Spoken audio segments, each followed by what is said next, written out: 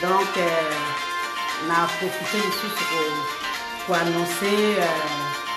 vraiment toza na single moko ezoya nasi tozoyoka yango wana eza ngai wa bino fer anne nde ayembi esesili tozo vraiment kobimisa yango na mikolo ezoya awawa parceke baconfinement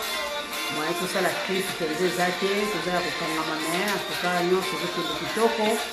antuka bakokoka te eyango esili donk nzambe apambola biso na loni ya bisengo